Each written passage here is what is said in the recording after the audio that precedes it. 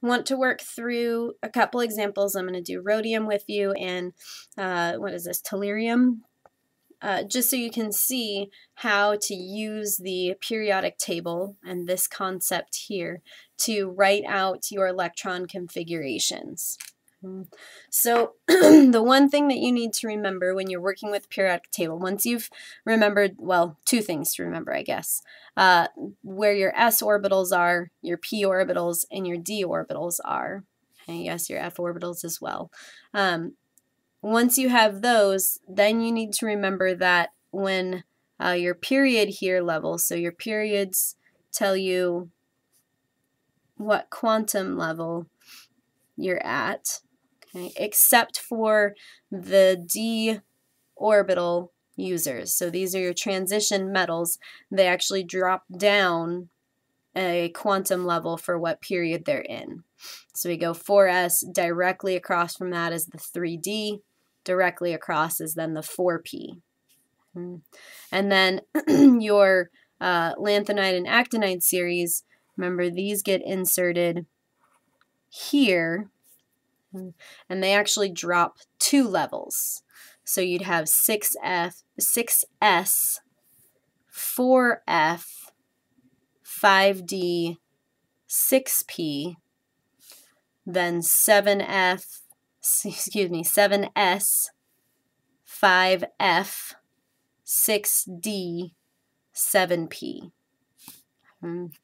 So remembering the d orbitals drop a quantum number from the period that they're in. F orbitals drop 2. So our electron configurations for rhodium, we look at our periodic table here, we have rhodiums here. So it's going to have 1s2, 2s2, 2p6, 3s2, 3p6, 4s2, 3d10, 4p6, 5s2, then we have 4d, 1, 2, 3, 4, 5, 6, 7. So we'd have 4d7 as our final part. So I'm going to say that through again, and then I'll write it out. But essentially we have 1s2, then we have 2s2, 2p6, 3s2, 3p6, 4s2, 3d10, 4p6, 5s2, then we're here, so we have 4d1, 2, 3, 4, 5, 6, 7. So we have 1s2, 2s2, 2p6, 3s2, 3p6, 4s2, 3d10, 4p6, 5s2, then 4d 1, 2, 3, 4, 5, 6, 7. 4D7. Ha, sounds like 47. Now, this is the complete configuration. The condensed configuration works off of our noble gases. Okay, so our nearest noble gas here is going to be krypton. So krypton actually takes care of all of that. So we would have KR, and then we'd have our remaining 5S2, 4D7.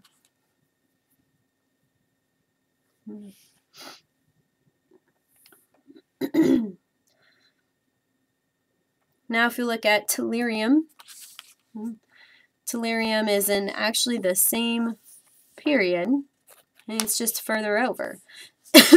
excuse me. So it will complete its 4D10, and then it'll have 5P1, 2, 3, 4. So it'll have the same set as rhodium. We'll just have 4d10 and then 5p4.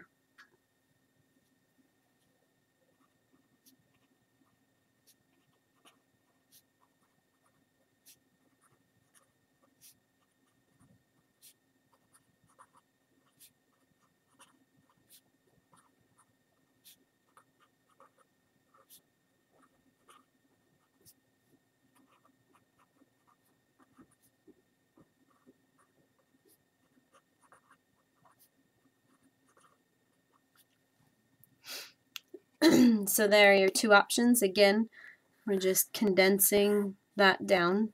You'll definitely want to practice both ways and practice using the periodic table so you don't have to rely on writing out this entire series. Work on building up on the periodic table. Use the periodic table to your advantage. Uranium will be a fun one for that considering uh, you're way, way down there for that one.